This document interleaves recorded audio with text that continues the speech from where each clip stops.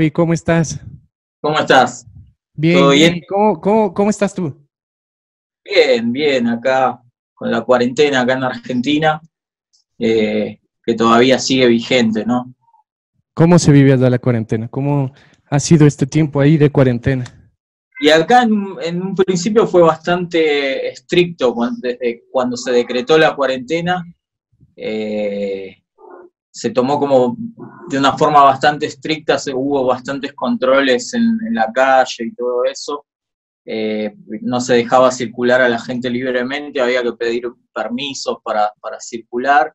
Y ahora hay como una segunda etapa donde se abrió un poco, eh, es más fácil lograr un permiso para circular, pero eh, hay que hacer cuarentena, todavía no se puede salir libremente a la calle, digamos. Claro, sí estamos aquí también. Estamos en, en un encierro ya un poco más de ocho semanas. Y acá también. y, y seguimos en las mismas. Pero esta cuarentena, ¿cómo, ¿cómo te ha servido a ti en el lado creativo, en la música? Bueno, por un lado afectó eh, parte de mi trabajo, eh, toco bastante en vivo, toco semanalmente en vivo acá en, en Buenos Aires, eh, y bueno, eso se cortó, todo lo que sean shows, eh, yo supongo que hasta fin de año, el año que viene, no se reanudará nada de eso, y, un poco tuve que también las clases presenciales que yo estaba dando acá en mi estudio, tuve que modificar un poco eso y empezar a dar más clases online. Algunos alumnos míos se sumaron, otros, eh, eh, o sea, se sumó gente nueva también. Eh, y un poco aprovechando el tiempo para, para grabar, eh, ser creativo, digamos, tratar de aprovechar el tiempo para, para ir como guardando data, ¿no? Para, para ir trabajando o pronto o en el futuro, ¿no? Yo siempre soy de, de componer bastante e ir guardando las cosas y viendo qué me resulta más fácil de terminar y de sacar, por ejemplo.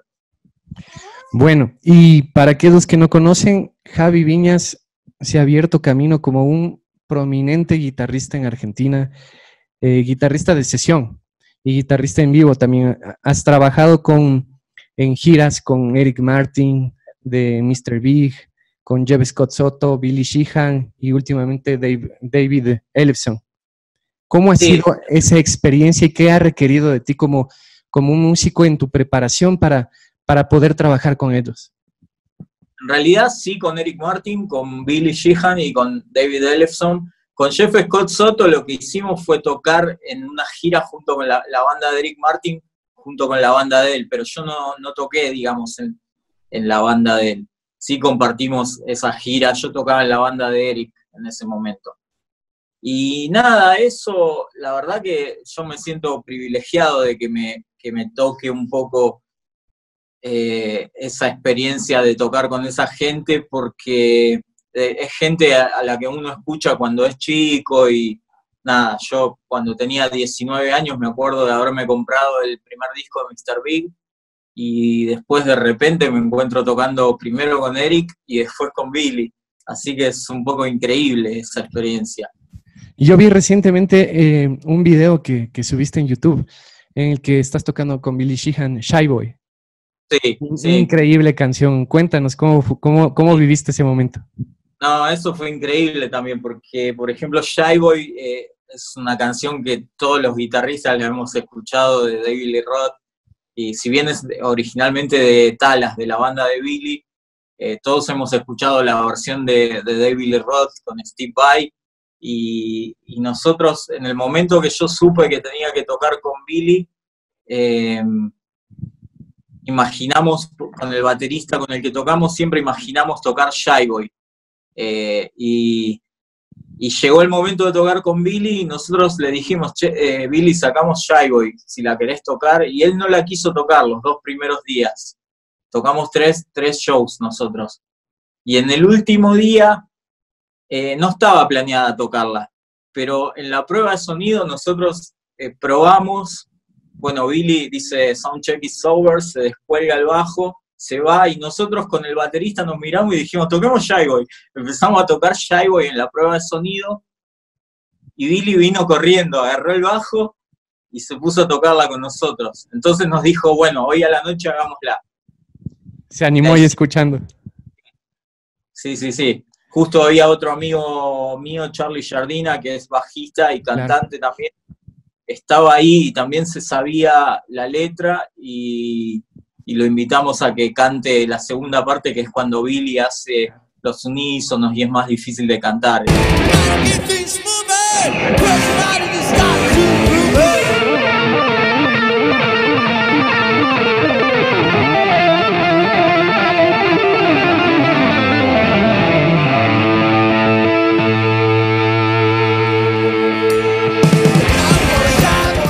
Escuchándote, tú eres un, increíble guitarrista, un shredder. ¿Cómo, ¿Qué sucede en tu vida o qué es lo que pasa? ¿En qué edad que te convierte en un shredder? Que tú dices, este es el, camino que voy a seguir en la música. Esto es lo que me gusta. Trabajas mucho haciendo también fusión, rock fusión, mucho eh, blues y todo, pero, pero tu habilidad, tu agilidad, tu talento siempre se, ve mucho más también con este lado del, del shred era el momento que recién salían Guns N' Roses, ¿no? Eh, y por ejemplo, escuché a Slash tocar el solo de Paradise City y dije, uh, esto me encanta. Y al, poco tiempo también lo escuché a Eddie Van Halen. Eh, y nada, eso fue como, dije, no, quiero, quiero tratar de hacer algo parecido a eso que hace Eddie. Y me hice muy fanático de Eddie y fue como el arranque para que me ponga a practicar, digamos, de una forma más fuerte. Y participas en varias bandas, tienes varios proyectos y eh, más o menos en el año 2015 tú grabas tu propio disco, tu disco instrumental, que lleva tu nombre, Javi Viñas. Eh, y venía como acumulando música propia y al mostrársela a mis amigos, mis amigos me dicen, ¿por qué no, ¿por qué no sacás esto, estos temas que tenés? ¿Por qué no, no, les das, no le das curso a esto y los sacás. Y ahí fue cuando me decidí un poco a, cerrar una serie de temas que tenía y sacarlos en lo que fue el Y hay algunas participaciones especiales en ese disco. Sí, sí, en ese disco está, por ejemplo, está Joel Hoekstra de, de Whitesnake, que yo lo conocí en una gira que yo hice con una banda por Asia, y él también estaba girando con otra banda en ese momento, entonces coincidimos las dos bandas eh, durante dos semanas tocando en el mismo lugar y yo lo veía tocar todos los días, yo ya lo conocía a él, tenía eh, su primer disco solista y cuando lo vi ahí me voló la cabeza, primero no lo reconocí, pero cuando lo presentaron dije, uh, yo tengo el disco de este tipo. Y él me regaló su segundo disco, hicimos buena onda y nos mantuvimos en contacto. Eh, a través de los años y, y, yo le dije, cuando haga mi disco quiero invitarte, lo invité y hizo un solo tremendo en uno de los temas. Y mm, después lo invité a Doug Rappaport, que es un guitarrista que a mí me gusta mucho, que lo descubrí hace bastantes años ya, eh, así a través de YouTube, en unas demos de Engel que había hecho él. Y también yo le había escrito a Doug una vez por, por MySpace, en la época de MySpace, le escribí y le dije, cuando haga un disco te quiero invitar, me encanta cómo tocas, y él me dijo, dale, mandame cuando, cuando quieras. Y, y nada, en su momento, llegó el momento de, digamos, de, cerrar el disco y, le mandé el track ese que es el cover de los Beatles, y él hizo un solo increíble ahí. ¿Cómo, cómo definirías tú tu, tu estilo, tu sonido? Creo que mi estilo es, como, está basado mucho en el blues y el rock, digamos, como con algunas expansiones, digamos, como si fuera algunas expansiones de, de RAM, digamos. Tiene elementos de, por ahí, como decimos, de algunas cosas tipo shred, aunque yo no me considero un guitarrista de shred, pero tiene algunos elementos de tipos que me han influenciado que tocan un poco más virtuoso. Por ejemplo, siempre me ha gustado mucho Greg Howard, Richie Kotzen, y traté de incorporar un poco de influencia de ellos, lo que puedo, porque son tipos que tocan increíble, digamos. Y es una mezcla, digamos, entre eso, entre blues, rock, con influencias un poco shredder y también un elemento melódico eh, grande, porque está, por ejemplo, en otra parte de, otros guitarristas que me influenciaron, que son súper melódicos y eso me gusta mucho de la guitarra también. Justo nombraste a dos guitarristas que yo tenía aquí apuntados y te voy a dar cinco nombres. Tú me vas a decir qué se te viene a la mente cada que escuchas, eh, cuando escuches de cada nombre, ¿ok? Guthrie Govan. Uh, es increíble, inalcanzable, como que fuera de este mundo. Joel Hoekstra. Uy, es, eh, Joel me parece un tipo que tiene un, gran talento para ser profesional, es tipo profesionalismo al máximo nivel. Ya, Steve Lukather. Luke es mágico, pura magia. O sea, se me pone la piel de gallina de nombrarlo nada más. Es puro feeling y. Richie Kotzen. Richie es una gran influencia en, para mí. Eh, gran, gran influencia del talento de Richie Kotzen. O sea, no podemos decir nada nuevo porque ya todo el mundo lo, lo conoce, pero me gusta mucho ese approach como descuidado que tiene él. por ejemplo, cuando graba, he visto entrevistas que él graba con lo que tiene a mano y, me siento identificado un poco con eso. Yo soy un poco así también. Y me encanta cómo toca, es gran influencia. ¿Y John Mayer? John Mayer me gusta mucho. Eh, por ejemplo, me gusta mucho el disco que hizo el, del trío, eh, y es un gran compositor de, canciones también. Y justo ahora que hablabas de, Richie Kotzen y de cómo es su proceso de grabación, ¿cómo te identificas tú? ¿En qué encuentras esas similitudes al, momento ya de producir y de trabajar en estudio? Por ejemplo, eh, viste que hay muchos guitarristas que, que, uno cuando ve entrevistas o es o making of o ese tipo de cosas, vos ves que, por ejemplo, lo que hacen los tipos es seleccionan para esta canción tal guitarra, para esta canción voy a usar este amplificador. Eso se ve bastante dentro del proceso de, grabación, de cómo lo hacen algunos tipos. Y en el caso mío, yo por ahí me identifico con Richie Kotzen porque yo uso lo que tengo a mano. O sea, si si mañana tengo que grabar un solo y de repente está enchufada esta guitarra y está enchufada a, por ejemplo, a la Hellrush, capaz que me levanto y digo, uy, voy a probar tirar un solo acá arriba. Y mm, pruebo, me gusta y queda. No hago ese proceso de andar seleccionando, uy, este solo lo voy a grabar con el, con el Plexi. Eh, porque, ¿qué me pasa? Que si, en general, cuando yo hago ese proceso, y preparo mucho, llego al momento y falla.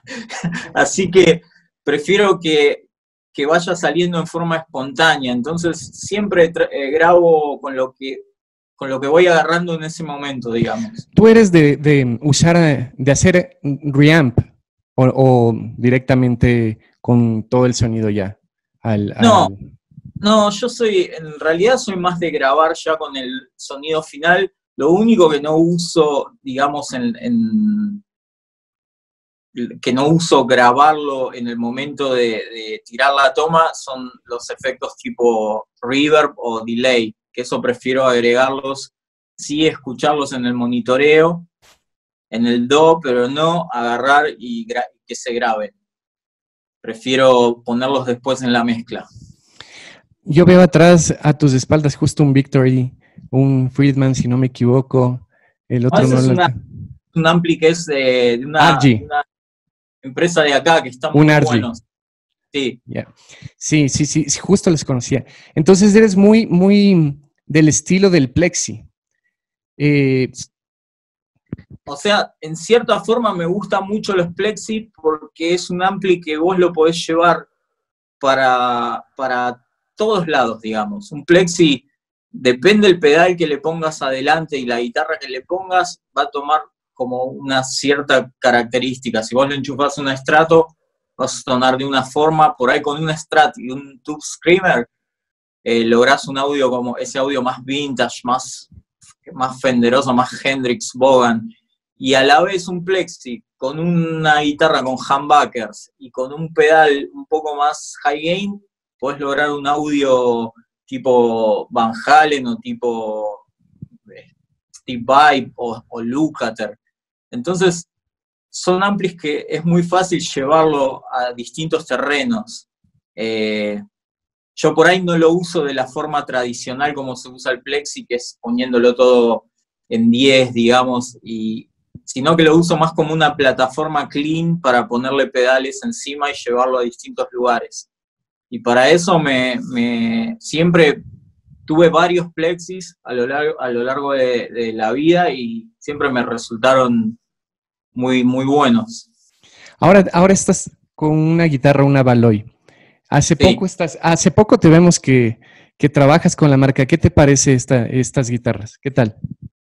Baloy me encantan. O sea, todas las que he probado eh, me han gustado, me gusta esa cosa que tienen que, están hechas como cuidando mucho los detalles, son como en cierta forma boutique, aunque por ejemplo estos, este modelo que tengo yo acá es un modelo que, se mandó a fabricar a Corea un poco para testear lo que sería a futuro una producción más, eh, digamos, es fábrica, digamos. Y esta está buenísima. Justamente Pablo de Baloy me la dio para que un poco pruebe distintos pickups y, y le dé mi opinión de, cómo se va comportando con distintos pickups y para tomar la decisión de cuál sería el modelo final. O sea, eso quiere decir que ahora tú estás eh, testeando las guitarras, eh, viendo cómo funciona cada micrófono, las maderas, y, conforme a eso van haciendo los cambios de los siguientes modelos. Sí, sí. ¿Y, cómo encuentras el instrumento? No, esta me encantó en particular. Es, eh, de hecho, es una de las. Hay dos guitarras que por ahí son las que más vengo usando últimamente. Eh, que la otra la tengo acá. Son estas dos. Wow. Y, y en realidad me gustó tanto que, que sí, que la, la uso un montón a mí me pasa eso de, que si una guitarra me usa, me gusta, me vas a ver usándola. Y si no me gusta, no la voy a usar tanto. Y, no importa si es puente fijo o tiene Floyd Rose. En realidad, para mí lo ideal es que tenga un trémolo. Eh, por ahí no Floyd Rose, yo estoy más, eh, últimamente más habituado al Floyd Rose, me gusta a mí también siempre he usado Floyd Rose, pero estoy más habituado a usar este tipo de trémolos últimamente, que son más trémolos estándar con dos pivots y, y sí, me gusta que tengan trémolo. Por ahí eso es la Valoy. Y ahora para trabajar en estudio, em, yo veo que tienes tus amplificadores y todo, pero también eres un asiduo usuario de la Headrush. Sí, así es. Es más, ah, eh, eres artista, Headrush, estás en el sitio web oficial. Creo que eres el único latinoamericano que se encuentra en el sitio web como artista Headrush. ¿Cómo fue, cómo fue, cómo se cerró este, este endorsement? Eso se cerró porque yo empecé eh, de a poco a trabajar con el distribuidor local de, de Headrush, que es Chiron Music, que es una empresa de acá de, de Argentina que está acá en Buenos Aires. Y, y ellos un poco me usaron, ellos eh, trajeron Headrush acá y me usaron un poco a mí también como a modo de testeo. Me dijeron, eh, te vamos a dar una para que la pruebes, la uses en vivo, nos digas tu opinión, eh, nos cuentes cómo va reaccionando. Entonces yo la empecé a usar de a poco porque yo venía por ahí de una escuela de no usar eh, este tipo de aparatos digitales, sino que usaba más ampli, pedales, y, de a poco me fui acostumbrando y sobre todo, por ejemplo, para los gigs de, donde tenés que tocar semanalmente y andar moviendo equipamiento todo el tiempo, me resultó muy práctico y la verdad que el sonido a medida que, que la fui usando le fui encontrando lo que me gustaba y hasta que en un momento dije, esto funciona excelente. Y, ¿Qué es lo que tú buscas de un procesador digital de este tipo? No, en realidad eh, es lo que tienen los procesadores digitales para mí es que no es tan fácil como comprártelo y agarrar un preset y salir a tocar, sino que tenés que encontrar, tenés tantas opciones en un procesador digital que a veces es difícil, eh, si uno no tiene una idea bien clara de lo que quiere, es difícil encontrar eh, lo que realmente te rinda, si empezás a probar. Entonces, un poco lo que yo busco es que tratar de replicar lo mismo que uso en, digamos, en equipamiento analógico, replicarlo en la GRASH y a la vez que el sonido que me dé de vuelta esté bueno, ¿no? Es un poco lo que busqué y la verdad que, lo, voy consiguiendo. Tú hiciste el proceso de, ir comparando con el amplificador real, ir viendo cómo suena la headrush, probando los impulse response. Sí, tal cual. Tal cual. Al momento de trabajar con tu headrush, porque también es un, error muy común que a veces se conecta la, la pedalera directo a un amplificador pero no es la manera correcta de, sino apagando todo. Pero, ¿cómo haces tú para, para crear tus propios sonidos? ¿Qué, ¿Qué, es lo que buscas? ¿Cuál es el, ese, ese sonido? ¿Cómo lo trabajas? ¿Cuál sería la cadena que tú usarías? No, en un principio lo que hice cuando, cuando la recibí de entrada, que no tenía por ahí experiencia usando este tipo de aparatos modeling, que son como de una tecnología más actual, digamos. Sí había usado pedaleras tipo Line 6 Pod, viste, Pod XT Live, ese tipo de cosas, pero no, eh, no de esta generación que cargan IRs. Claro, Justamente no, tienen nada que ver. Claro, me armé un sonido menos como a mí me gustan, elegí un Marshall JCM 800, le puse un tubo screamer adelante, eh, empecé a incursionar en el tema de los cierres, que yo ya lo conocía porque hace bastantes años me lo mostró un amigo y en su momento no le di bolilla y después sí lo empecé a, como a investigar. Y bueno, le cargué unos cierres que me pareció que acá en mi estudio sonaban bien. Y lo que me pasó fue que cuando me, me lo llevé en vivo, este setup que me había armado acá en este ámbito como más tranquilo y más controlado, en vivo no me rindió.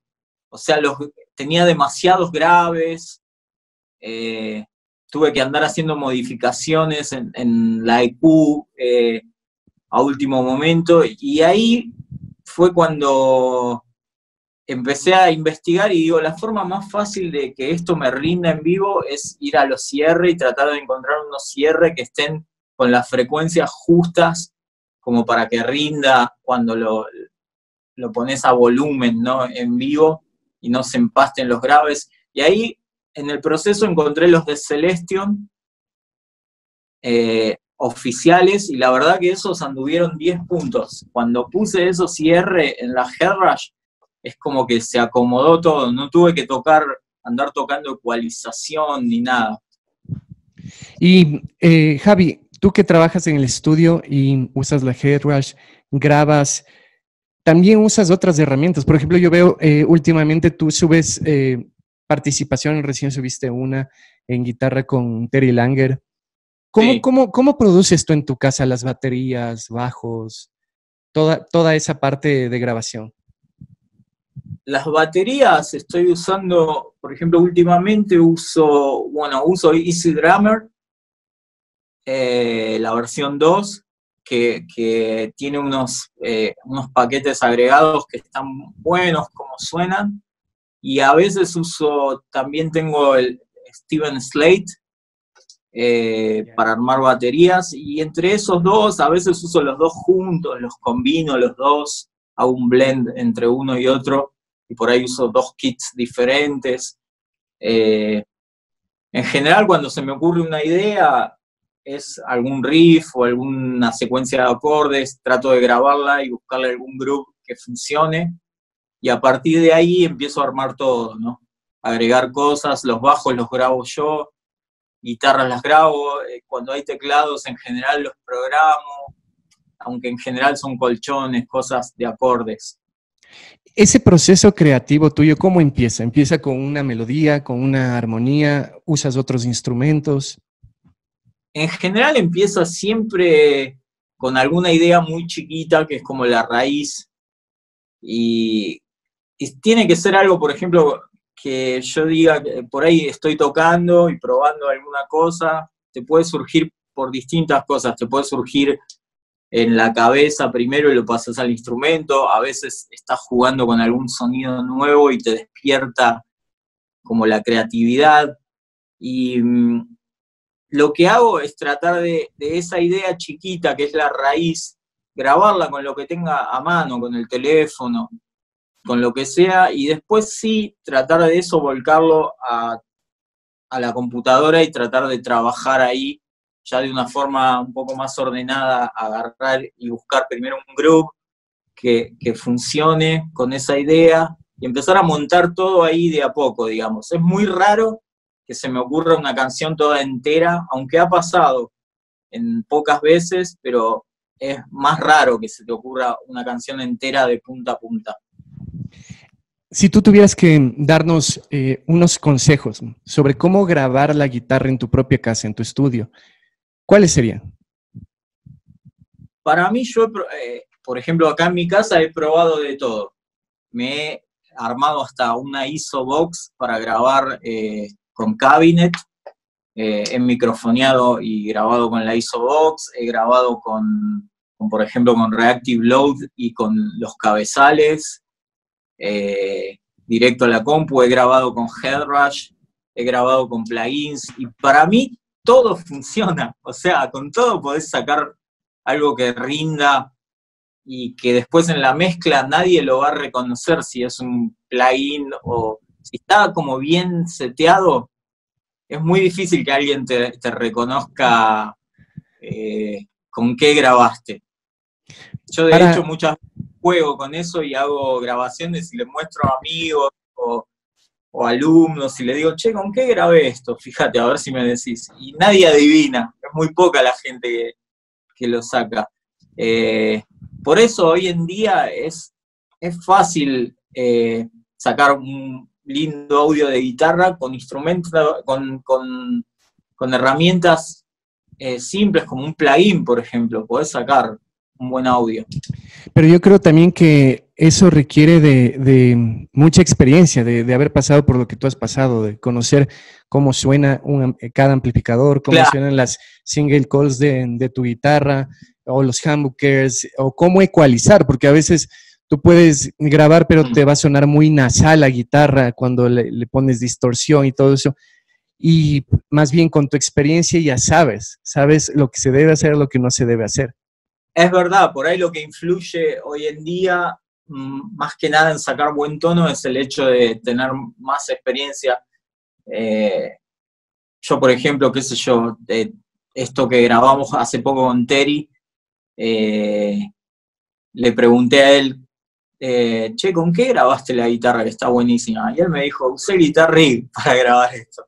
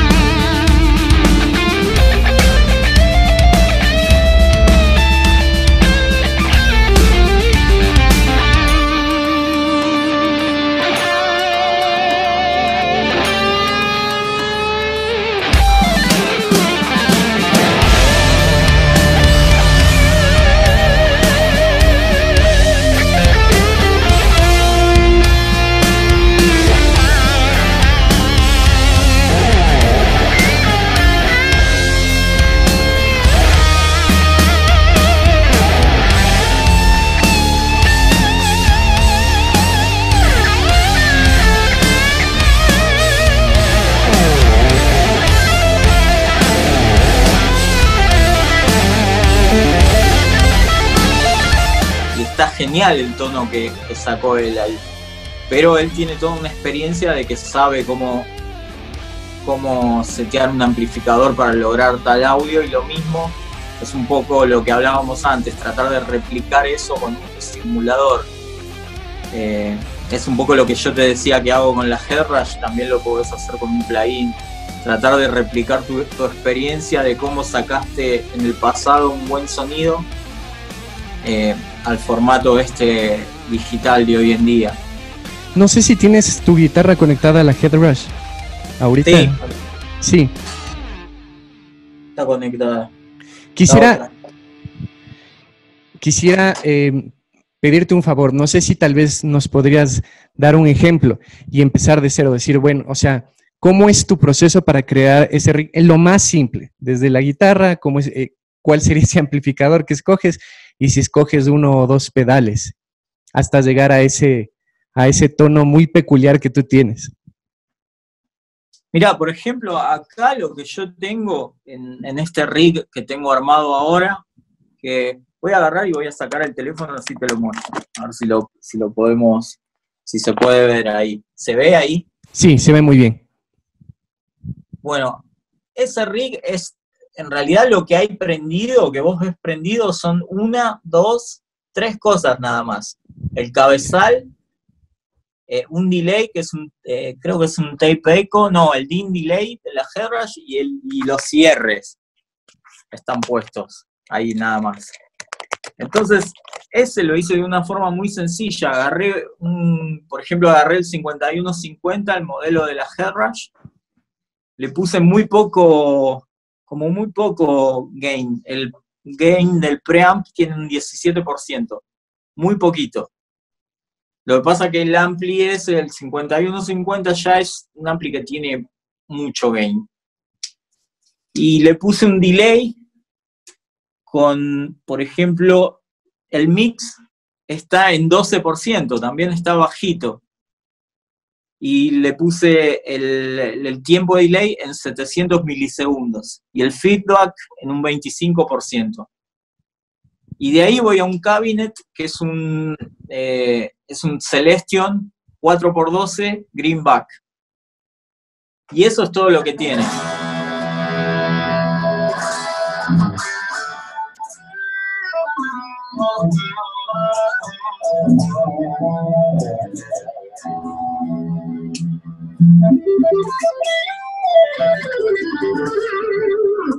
Wow, súper, súper, súper. Y, Javi, eh, antes de que, de que se, me, se, me, olvide esta pregunta que tenía con respecto a la Headrush, tú, eh, yo he usado los, los, modelos de delay que tiene el, tube, el Echo y el, el Dynamic Delay. Sí. A, mí, a mí muchas veces me cuesta encontrar las diferencias que tienen y me decido por un solo delay. Eh, porque a veces tienes tantos efectos que te llegas a perder, te llegas a, a perder en, en, estar buscando, en estar ahí eh, señalando. Danos un consejo, por favor, para, para, utilizar el delay. Yo creo que este, e, este efecto a veces es mal interpretado o es muy exagerado cuando lo usamos. Sí, lo que tiene, a mí es el delay es un efecto que me gusta mucho, un poco por la influencia de los guitarristas que yo siempre escuché, que siempre está ese sonido así con, el delay de fondo que hace que suene como envolvente, ¿no? Y en el caso de los discos, por ejemplo, yo eh, al escuchar a Lukather o Andy Timmons, guitarristas así, siempre escuchas un delay estéreo. Claro, es un estéreo claro, da una sensación súper amplia. Y eso me gusta usarlo. Eh, si bien ahora lo tengo acá en mono, lo que trato de hacer es siempre, por ejemplo, los milisegundos del delay, más o menos me manejo alrededor de 600 milisegundos con, el delay, que ande por, en ese rango, puede ser entre 600 y 700. He visto guitarristas, por ejemplo, Eddie Van Halen usaba dos delays en estéreo, uno de 250 y otro de 500, por ejemplo. Y, Cetrani también lo usa así, el uno lo usa en 300 y el otro en 500. Claro, y a mí me ha pasado de cuando fui a la NAM, una vez esto me quedó remarcado. Eh, fui al boot de Friedman y tenían todo un rig estéreo armado y se veían, tenían los delays, esos Roland eh, que son de los 90, los SDE, y se veía cuántos milisegundos tenía en cada uno, y me encantaba cómo sonaba, y, me copié un poco de eso. Eh, ahí, por ejemplo, los tenían seteados en 700 y el otro en 350. Bastante largo el de, el de 700 y, sonaba espectacular. ¿Viste? Cuando agarrás y colgás una nota y...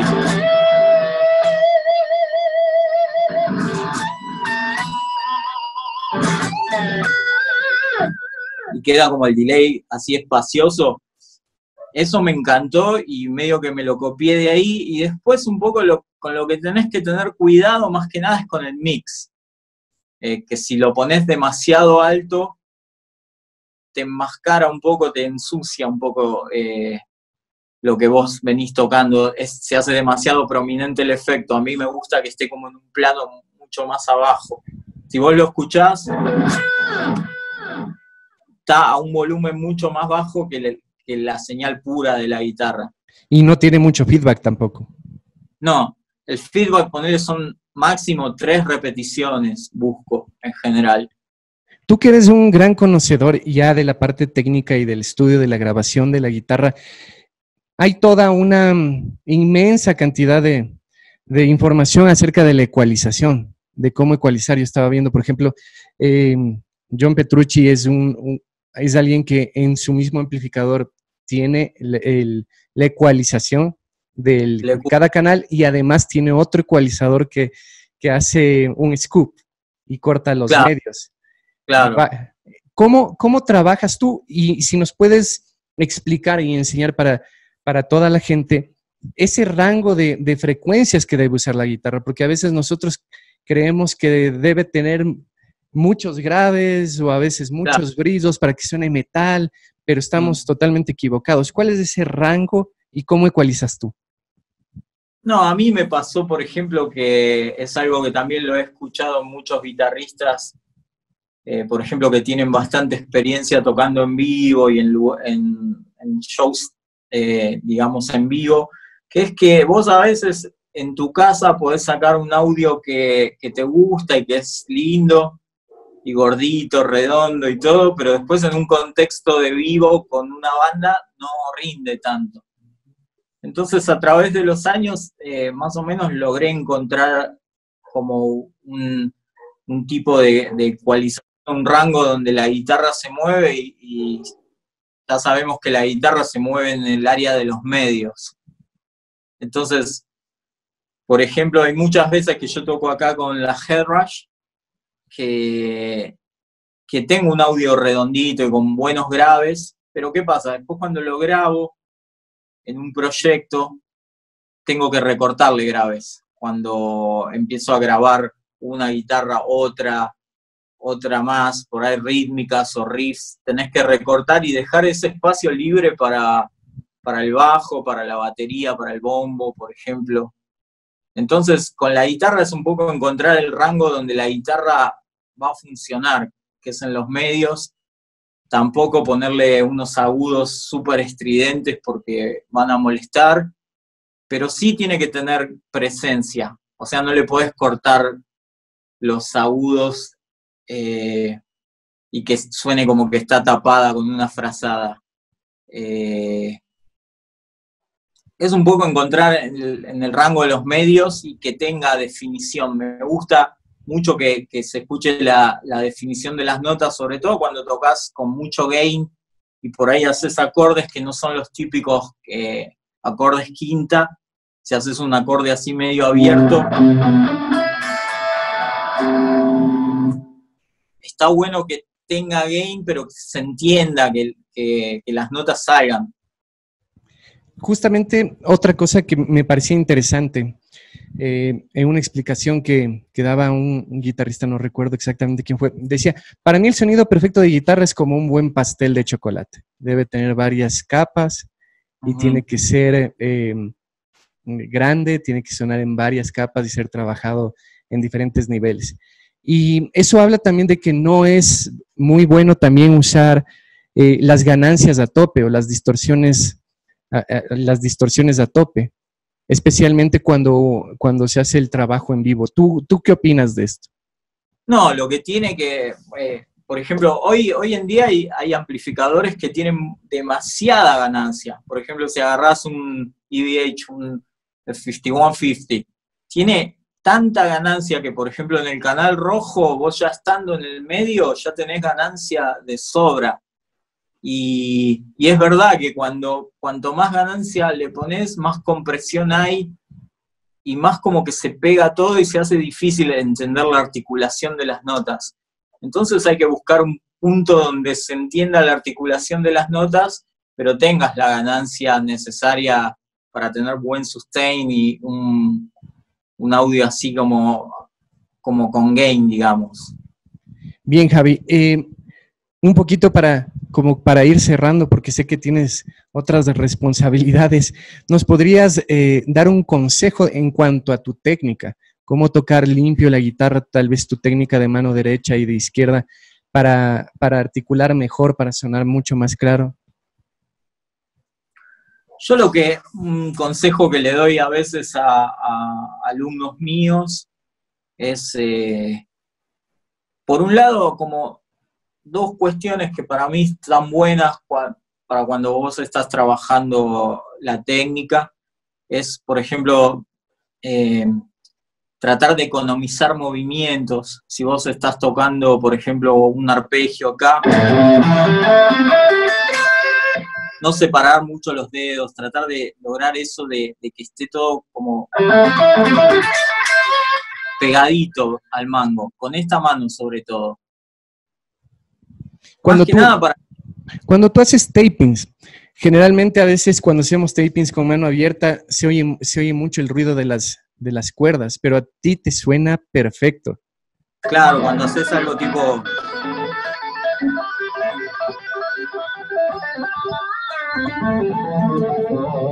Sí, justo lo, que, lo que escuchaba en el solo que tocaste de Shy Boy. Súper claro, súper cada nota bien colocada y súper eh, limpio. E, eso implica una técnica de mano derecha compleja. Cuéntanos. Sí, eso, por ejemplo, yo lo que hago con esta mano, un poco esto se lo copié a Eddie Van Halen, paso la púa al dedo medio, digamos, y uso un poco el, borde de la palma de la mano acá para mutear. Entonces, si yo estoy haciendo un tapping en, en, no sé, la segunda cuerda, con el resto de la mano estoy muteando las otras cuerdas para que no vibren y eso me permite que, se escuche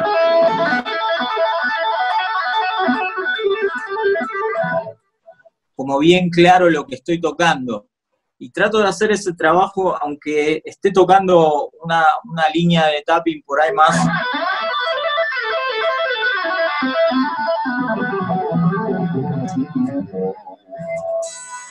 lo largo de las cuerdas, ir muteando un poco para que no se, no se ensucie, digamos. Y a la vez con esta mano también trato de, que los ligados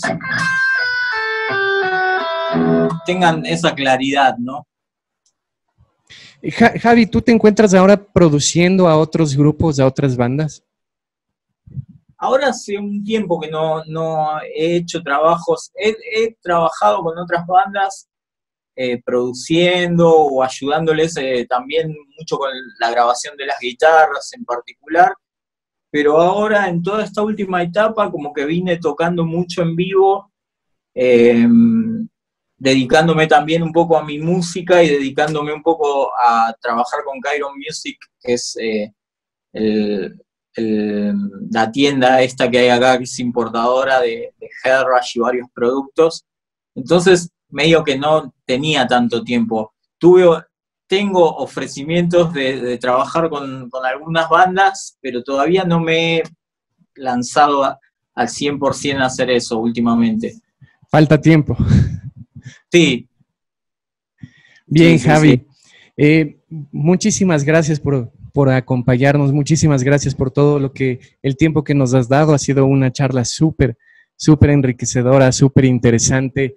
Eh, yo creo que las condiciones están dadas ahora para justamente para esta, este tipo de conversaciones, participaciones colaborativas. Sí, sí. Sí, de hecho yo, todo esto eh, me engancho mucho eh, mirando otras transmisiones de otros guitarristas y siempre se aprende un montón y se ven distintos puntos de vista y, en este último tiempo que se han dado varias, estuve siguiendo a, varias personas que hacen este tipo de, de entrevistas o de charlas que están buenísimas. Una de las cosas que, me daba cuenta y quiero preguntarte tu punto de vista es que, claro, nosotros estábamos acostumbrados a ir a los conciertos, ir a un lugar y congregarnos todos en un lugar para escuchar música o para ver un partido de fútbol, o sucedía con las iglesias y todo eso, pero ahora de pronto cambió la dinámica y tenemos que usar estas herramientas para en cambio ser creativos y llegar a la gente en sus casas. ¿Tú crees que esto es una ventaja o, es, o, tal vez va a ser una desventaja a, mediano plazo, porque la gente tal vez ya no va a querer ir a los lugares, o tú crees que es una ventaja y que va da, da a conocer el trabajo, que te acerca más a la gente. ¿Cuál es tu punto de vista? No, yo lo tomo como algo positivo y, obviamente que, ese, ese, feeling de ir a un concierto real a ver a, un músico que te gusta eh, no, no, se puede reemplazar con, a través de, los, de estas cosas de streaming o online.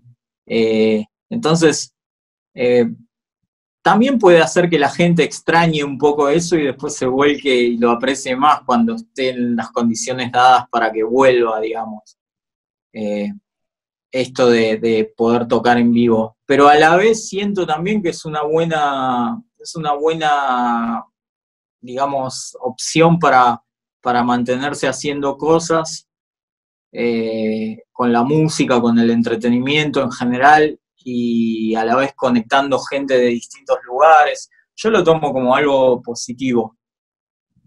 Javi, verás, tengo una curiosidad porque hace rato estoy viendo atrás tuyo una guitarra tipo Les Paul. Ah, sí. Ahora la traigo.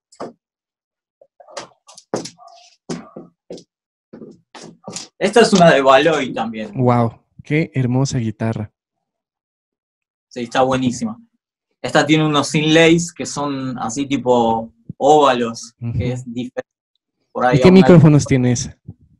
Esta tiene unos micrófonos que son los que vinieron de la fábrica de Corea, que en realidad se los vamos a cambiar ahora. Son unos mix que, son, están hechos en la, en la misma fábrica de allá son de Tesla es la marca, pero acá vamos a ir probando distintos micrófonos para ver cómo, cómo reaccionan. Y lo que tiene atrás es un acceso mucho más cómodo, digamos, que una Les Paul. ¿Y se piensa distribuir esa guitarra para el resto de América?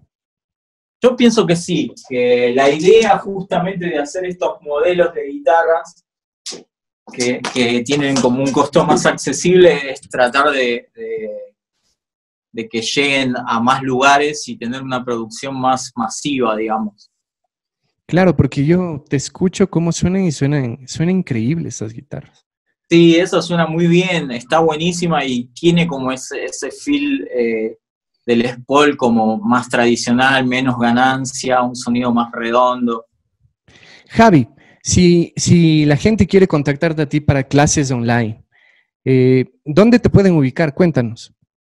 Me pueden encontrar en Facebook, eh, Javi Viñas. Eh, también tengo una página de Facebook que estoy como Javier Viñas. Y si no, en Instagram, que es arroba Javi Vinas GTR, todo junto. Muchísimas gracias, Javi. No sé si quieres mandar un saludo a la gente de Ecuador.